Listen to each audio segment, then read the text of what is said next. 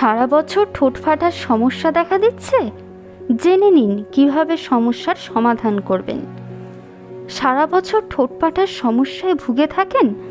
সমস্যা থেকে মুক্তি পেতে কি করবেন ভেবে পান না?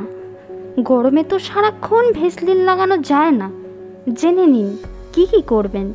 শীত পড়লে ত্বক ও ঠোঁট শুষ্ক হয়ে যায়। সেই সকল প্রায় সকলেরই ঠোঁট ফাটে। ব্যাগে সারাক্ষণ মজুদ থাকে ভেজলিন। কিন্তু এই সমস্যা যদি দেখা দেয় গরমে কিংবা সারা বছর, অনেকেই সারা বছর ঠোঁট ফাটার সমস্যায় ভুগে থাকেন। সমস্যা থেকে মুক্তি পেতে কি করবেন ভেবে পান না? গরমে তো সারাক্ষণ ভেসলিন লাগানো যায় না। জেনে নিন, কি কি করবেন? ঠোঁট ফাটার সমস্যা থেকে মুক্তি পেতে চাইলে নিতে হবে ঠোঁটের বিশেষ যত্ন। রোজ সকালে ব্রাশ করার সময় ঠোঁটে হালকা করে সেই ব্রাশ ঘষে নিন। এতে ঠোঁটে জমে থাকা মরা চামড়া দূর হবে। অধিকাংশই ঠোঁটে মরা চামড়া থাকে, যা আমরা খেয়াল করি না। সে কারণে ঠোঁট ফাটার সমস্যা দেখা দেয়। সপ্তাহে অন্তত দুদিন ঠোঁটে স্ক্র্যাবিং করুন। বাড়িতে বানাতে পারেন স্ক্র্যাবার। চিনি ও মধু দিয়ে স্ক্র্যাবার বানানো যায়। প্রথমে চিনি গুঁড়ো করে নিন, এবার তার সঙ্গে মেশান মধু, ভালো করে মিশিয়ে ঠোঁটে লাগান। শুকিয়ে গেলে ঘষে ধুয়ে নিন। এতে ঠোঁটে জমে থাকা নোংরা দূর হবে। এই নোংরা থেকে ঠোঁট ফাটে। নিয়মিত ঠোঁটে ময়শ্চারাইজার লাগান। রোজ রাতে ঘুমাতে যাওয়ার আগে ময়শ্চারাইজার ব্যবহার করুন।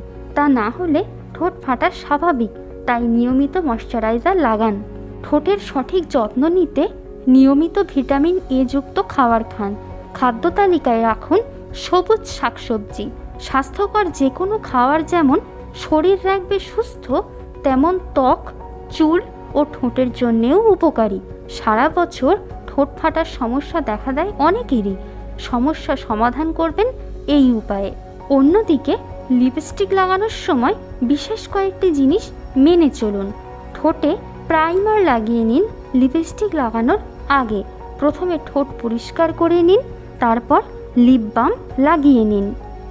এবার লাগান প্রাইমার এরপর লিপস্টিক লাগালে লিপস্টিক সকলে ঘেটে যাবে না। আর সিলিকন আছে, এমন লিপস্টিক লাগান। লিপস্টিক লাগানোর পর ব্লটিং পেপার ব্যবহার করুন।